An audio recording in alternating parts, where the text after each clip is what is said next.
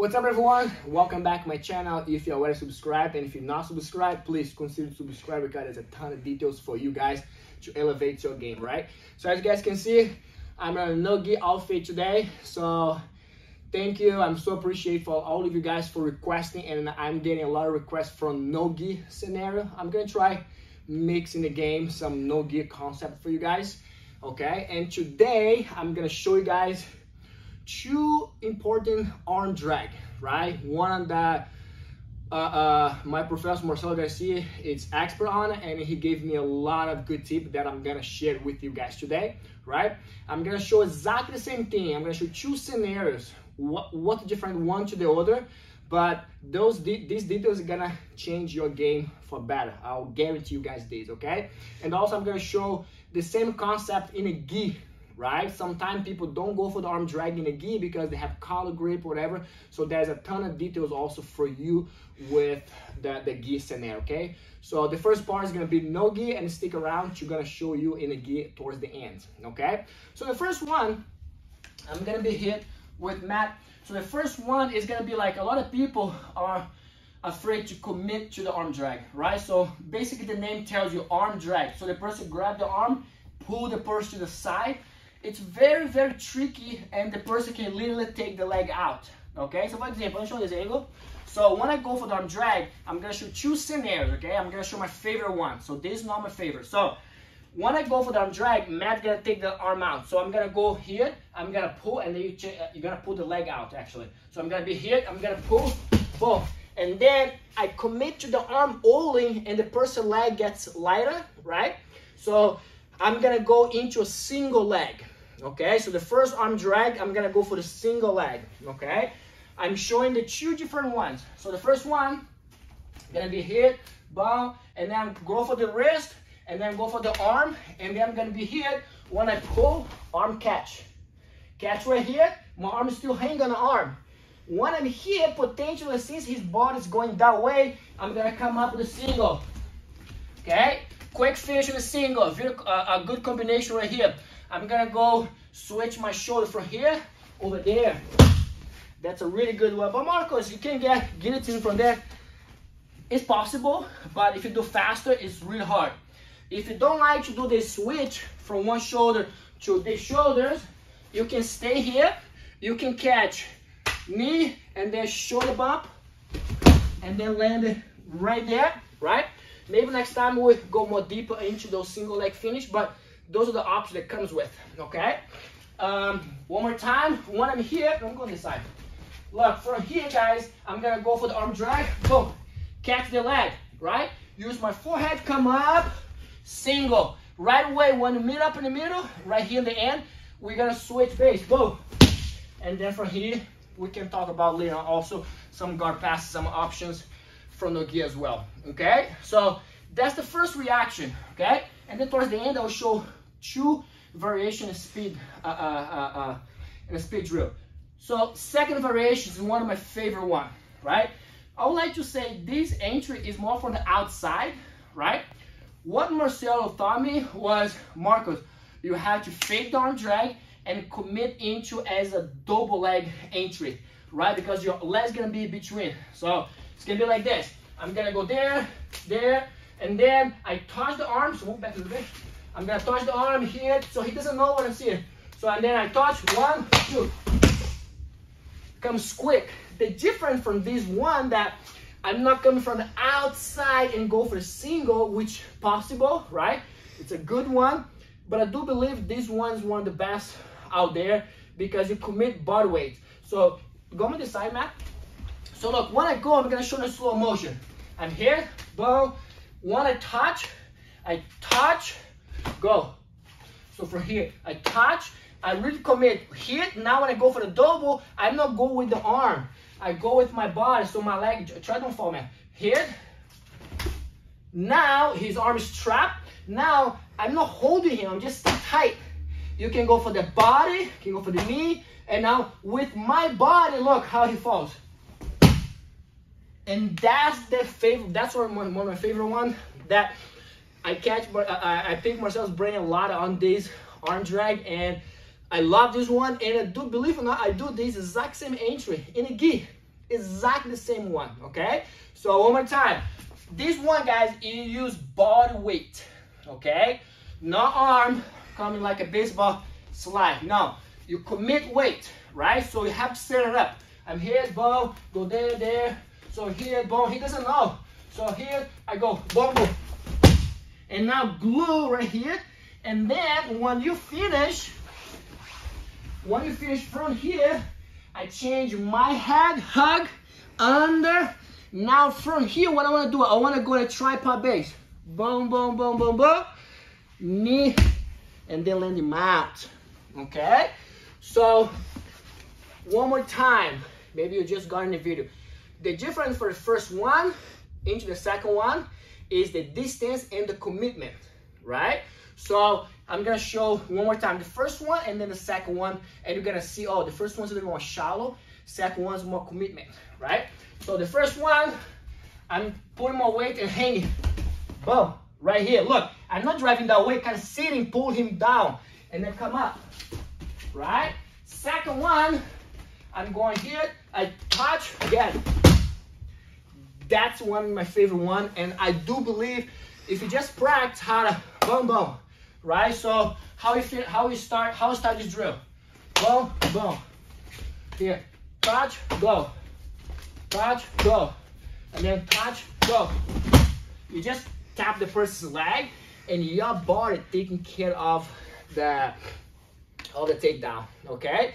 So one more time, fast, speed, first and second, okay?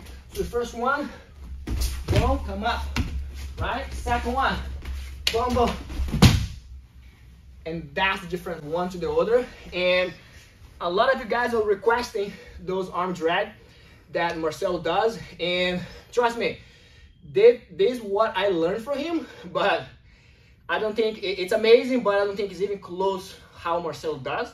But this is the detail that I like to share with you that I got from him and that changed my game. Okay, so make sure you pick this drill, start slow, understand the setup. It's most like the setup, right? First one, hang on the arm, get a single, come up. Second one, you don't hang, you touch, touch, and then use your body to knock the person down, okay? So now stick around, we're gonna go into the gi concept. Exactly the same thing, arm drag with the gi. So now we're here with the gi game, right? So nothing changed, right? The only thing that in the gi that I like to say, I would just add one more step, right? Collar, right? The name pretty much tells you arm drag, and there is a collar drag, which all that idea is a setup. You need to set up the person. Also, you need to make the commitment.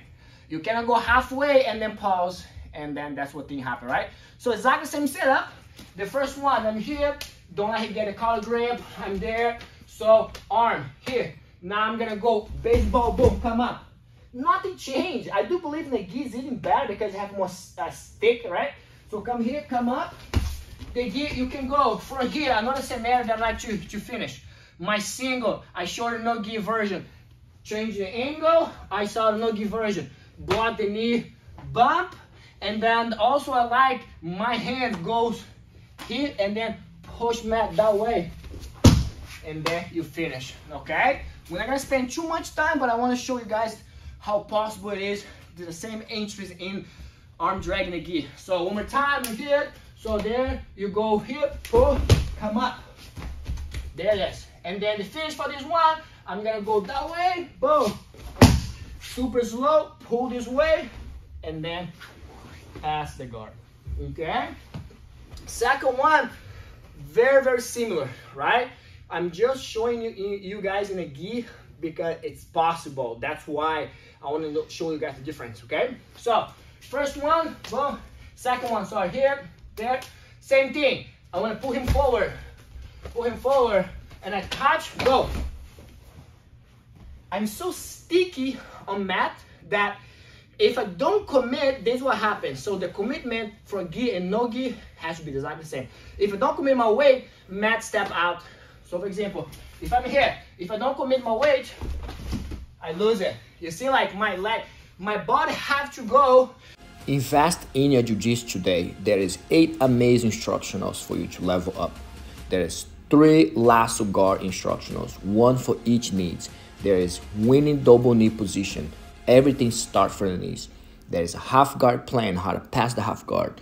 There's two amazing close guard, one elbow sweeps and one elbow submissions. And there is also how to pass the lasso guard. If you want to check it out, go at bjjfanatics.com and don't wait. Invest in your jiu-jitsu today. For example, you can go here on a wall. I'm going here, boom. My shoulder, boom, boom. Land on mat. So I'm here, pull him forward, boom. Look, boom. You see like how I'm touching? My shoulder what knocks me down. Did you get hurt? No. Exactly. You cannot get hurt. But do one thing. You will get hurt if you don't do a commitment.